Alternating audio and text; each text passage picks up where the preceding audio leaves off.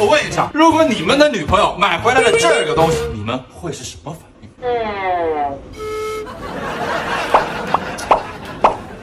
认真的吗？就他不应该就出现在……呃呃，先听听这个声音啊。清脆吗？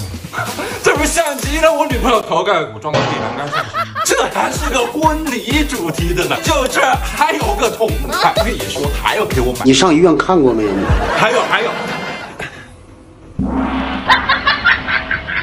我就想出来那好但，我也不知道这把这个回来是干什么呀？就这个造型啊，我当时以为我知道，我就去问他吧。你们这个回来是为了激励自己减肥吗？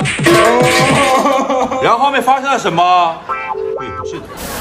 最有科技含量的它来了，看似普通的一个杯子，一壶开水。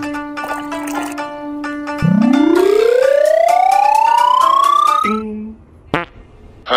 我虽然不是很懂吧，但是大受震撼。知道这个原理的可以在这里说一下，这杯子压力东西太多了。